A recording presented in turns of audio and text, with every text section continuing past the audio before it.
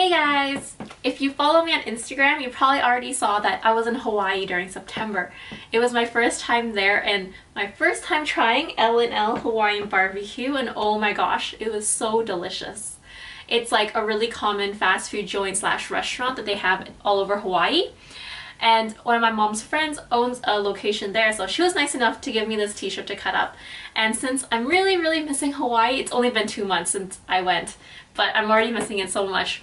I thought I'd bring out this shirt and cut it up uh, to bring me back into the Hawaii mood, even though it's winter. But I want to do this really cute fringe crop top. I did an arch shape in the front, so it's higher up in the middle and then longer in the side. And then in the back, I did a V shape, so it covers my bum. The shirt's a size medium, so it's a little bit wide on me, but I like it because it adds to that kind of bohemian casual uh, fringe look. And it's made of 100% cotton. It's a Hanes t-shirt and I'm going to show you guys how to cut it up. So the first thing we're going to use is a seam ripper, which has two pointy ends, so be careful when you're using it. If you have one at home, uh, this is really great for pulling out stitches from clothing. If you don't, uh, you could try using scissors. But we need to take the bottom hem of the t-shirt out so we can um, extend the length of the shirt. And this is a tip actually from one of my viewers, so thanks for letting me know that I could actually just take the seam out and extend the shirt instead of cutting off the bottom bit of the shirt. If you look at the hem of your t-shirt, it's going to look really complicated. It's called a double stitch and it has three threads in there. But if you see what I'm doing, I'm just pulling on the main string on the inside of the shirt and it's just completely coming apart really, really easily. Same with on the outside of the, the shirt, if you just pull on the strings, it'll come apart if you know how to unravel it properly. But keep in mind, it only unravels in one direction. You do not want to start just ripping out random threads because they're going to get tangled and you're going to have a huge headache in trying to remove these stitches. What you want to do is go on the outside of the t-shirt. You'll see that there's two straight lines. And what you need to do is remove four or five stitches from the top and from the bottom. So I'm taking my seam ripper and I'm just uh, sticking it in one of the threads and just pulling it out, a few stitches at a time until I have a section from the top and the bottom uh, taken out. Just hit to pull out the threads. And when you flip the shirt over, you'll see on the inside that the main thread is unraveled. And you basically just pull it and there you go. It's going to unravel in one direction all the way around the shirt. Okay, so for step two, we're going to see where we want to cut the shirt so we know where how high to go when we're doing the fringe. So we need to make little markings. I'm using fabric chalk. You can also use chalkboard chalk or bar soap to make temporary marks. So I'm going to do it right at the top of my jeans for the center mark. And I'm going to do a mark right there. And then I'm going to do one on the side. About here. And now I'm going to take the shirt off and then we're when we fold it in half I can do the other side to match um, where the left and right side are. So I'm just gonna freehand it using my fabric chalk. I'm just gonna eyeball the arch of the shirt using the marks I made when I was wearing the shirt. And now I'm folding it over so I can make sure that the arch is even on the left and right side. I'm gonna use the mark that I drew on the top side to help trace the bottom side. So as I fold back, I'm gonna sketch along here to be exactly the same. That way I know it's even on both sides of the arch.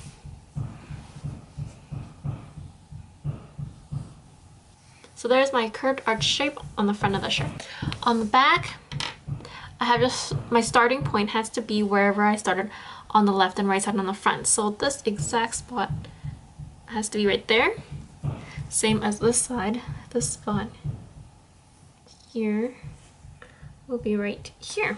And I'm going to use a ruler to help do a straight line so I can do a V shape. So here I'm just double checking that the start on front and back are all the same. And, and I'm making sure that the middle point of the shirt is indeed the middle point that I've drawn here. So now that I'm happy and confirmed with everything, because remember you always want to check twice, cut once. Once you're good to go, you can start doing strips straight up and down about a generous half an inch part. So I just do a generous finger width um, all the way around. Once you do the first one or two cuts, make sure you stop and stretch out the strip to make sure you're happy with the size of the fringe. You can always adjust accordingly if you like a thinner and thicker look, so make sure you check before you move on and cut too many. And just be careful not to cut the strips too thin or you might risk ripping the fabric when you stretch it out. Notice that once you stretch out the strip, it will curl, so it hides any imperfections. So you don't have to worry about being too perfect or cutting everything exactly the same. It'll all basically look good in the end. And when you're cutting a straight line like we are in the back with the V shape, always use a metal ruler so you get a polished straight line. So you don't have one fringe going a little bit higher up and one going a little bit lower. Everything look, look even if you cut um, according to the metal ruler.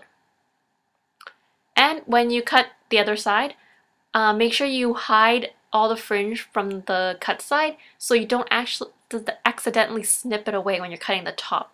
And it makes cutting the top a lot easier too because you can rest your ruler against the table. So here's what the t-shirt looks like all cut up into fringe. So the top hits just at the top of my jeans and in the back it just perfectly covers my bum. So next we need to cut out the neckline and I want to do the sleeves and turn those into fringe as well. So since this is a Hawaii inspired shirt, I'm going to do a deeper neckline, one inch all the way around the collar. Deeper than normal because you know, I'm going to wear this on the beach, so I want a little deeper neckline. That's okay. It's going to just be a cover up for my bikini. So just like before when we were doing the bottom hem of the t-shirt, instead of just cutting off the edge, we're going to remove the stitches from the sleeve and extend the fabric so we don't waste any of it. And so to remove these stitches, I'm using my seam ripper to pull out a few threads on the outside. And once I get a section done, on the inside, the threads just become unraveled and I can just pull it and it unravels all the way around the sleeve. And now I'm just going to cut the sleeve into fringe by cutting the top and the bottom at the same time. Once you finish cutting the fringe, you'll need to stretch out each string and do the exact same thing on the other side of the sleeve. To turn the t-shirt into a tank top look, I'll need two pieces of string, which I'll cut out from the collar since we left an inch around the collar, there's extra fabric there. So here's the new neckline and the fringed sleeves. Well, since this is kind of thick and it's not really the tank top look that I'm looking for, uh, that's why I grabbed the extra piece of string and so I am going to loop it through underneath here and kind of push it into the back of the shirt behind a few strings of fringe and then just tie a knot. And here's the tank top look at the top.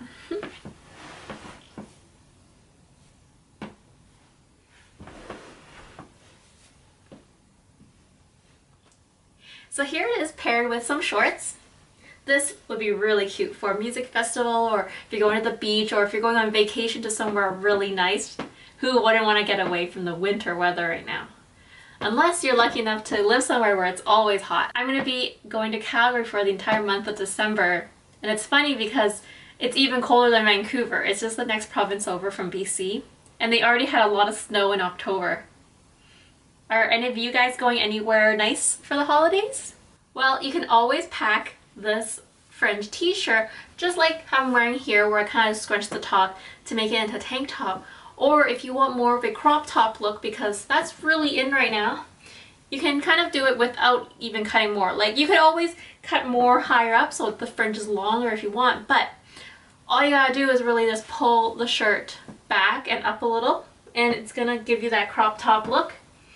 Um, just grab the two strings that you use to tie the top and in the back, you're going to want to tie them together in a loose double knot.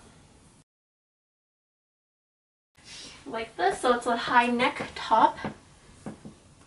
You get this t-shirt crop top look.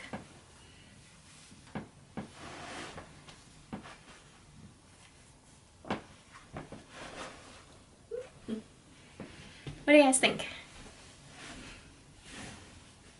Check out my blog if you want to see the written instructions and step-by-step -step photos of the making of this t-shirt. And if you're on Pinterest, follow me. I have a t-shirt cutting board with over 2,000 pins. I pinned like a zillion fringe pictures just in the last two days getting inspiration for this video. So link to my Instagram and Pinterest are in the description box below, so go follow me. And subscribe to my channels. I'm going to be uploading t-shirt cutting videos every single Tuesday. Share this video with your friends and thanks for watching you guys!